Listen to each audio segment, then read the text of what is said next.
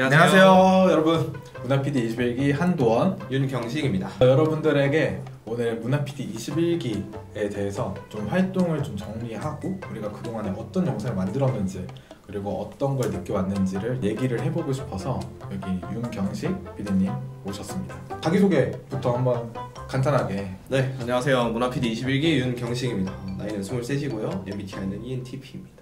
이번 문화PD 21기 활동을 진행을 하면서 정말 다양한 주제의 영상들을 만들어 왔을 텐데 인상 깊었던 에피소드나 그런 거 있을까요? 그래도 역시 1회차가 아닙니다. 1회차 할 때 정말 막막하더라고요. 어디까지 찍어야 되는가에 대한 고민이 되게 많았던 것 같아요. 사실 주제는 우리가 디지털 신기술을 어, 소개해야 한다는 목적성이 있으니까 일단은 챗GPT를 사용을 해서 엄청나게 많이 돌아다녔다. 1회차는 좀 열심히 했지. 1회차 영상이 제일 어려웠던 건 맞아. 주제도 잡기 어렵고 앞으로 어떻게 기획을 해야 될지도 어렵고 그게 정말 험난한 과정이었을 텐데 정말 열심히 발로 뛰어다닌 것 같아.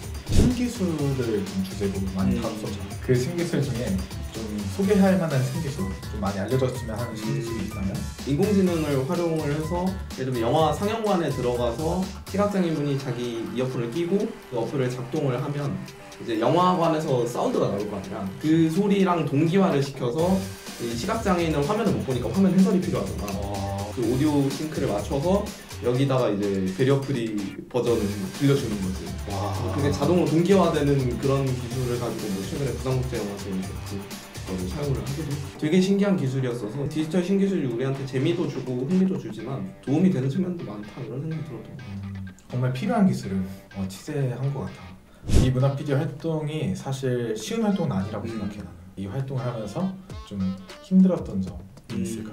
전공 특성상으로도 창작을 하는 사람이고 비정기적으로 확 몰아쳐서 바쁜 순간들이 막 생겨 그때 막 촬영을 못 하기도 하고 편집을 못 하기도 하고 이런 경우들이 발생하다 보니까 빨리 완수를 하고 싶은데 정기적인 일정 관리가 제일 힘들지 않을까 이렇게 힘들었던 점도 있지만 좀 이 활동을 하면서 좋았던 점이나 느낀 점 같은 것도 있을까? 현업에 계신 분들 혹은 현업을 꿈꾸시는 분들과 이야기를 나눌 수 있는 네트워킹의 기회가 좀 가장 크지 않았나 그게 나한테는 제일 큰 가치로 다가왔고 영상을 창작해보고 국민들께 뭐 방영을 하고 그에 적절한 그래도 우리가 노력을 들인 만큼의 대가를 받을 수 있다는 것도 어, 충분한 메리트가 아닌가 듭니다.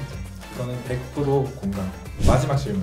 이제 내년 되면 문화PD 22기를 또 모집할 예정이라고 해. 이 활동을 추천을 할까? 하지 말까? 그냥 딱 잘라서 얘기하면은 추천 51 비추천 49 오 이유는 뭐야? 어, 영상 제작이라는 것이 분명히 또 쉽지 않은 일이기도 하고 업으로 삼고 계신 분들 막, 막 대단한 분들도 많이 오시는데 지원을 고민하시는 분들에게는 아, 내가 과연 깰 수 있는 자리인가 혹은 아, 나 아직 그냥 고등 대학교 1, 2학년인데 뭐 나는 영상 전공도 아닌데 기타 등등 여러 가지 생각을 하시는 분들도 많을 것 같아요 정말 영상을 사랑하는 사람들이라면 요즘에는 또 배울 수 있는 것도 많고 인프라도 워낙 넓으니까 새로운 디지털 신기술에 또 얼리어답터가 되는 게 우리 신세대로서는 또 좋은 경험이다 어쨌든 추천이라는 거네. 그렇죠. 꿈이 있는 분들 많이 지원 부탁드립니다. 여러분들 시청해 주셔서 감사하고요. 저는 문화PD 21기 한두원 윤경식이었습니다. 감사합니다. 네. 감사합니다.